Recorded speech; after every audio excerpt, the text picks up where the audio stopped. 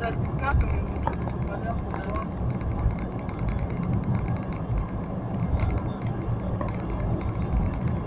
Красивый такой закат.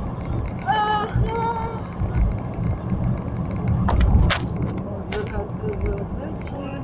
А это вот наши радиовышки, что ли? Ух ты, так это.